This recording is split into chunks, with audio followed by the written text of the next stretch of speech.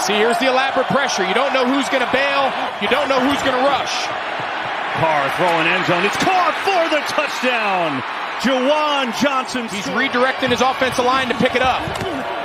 Carr floats one looking for Taysom Hill, and he comes back and gets it. He's got it. Hill, touchdown, Saints.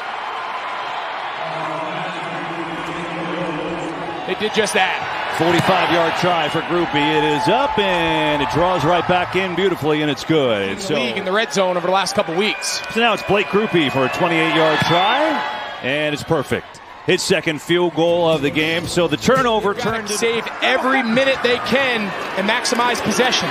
Mayfield taking a shot middle of the field. It's caught for the touchdown. Trey Palmer this point in the game. Try it again. Here's Grupe from 38, and it's up. It doesn't matter. That was good from 48, 55, whatever. So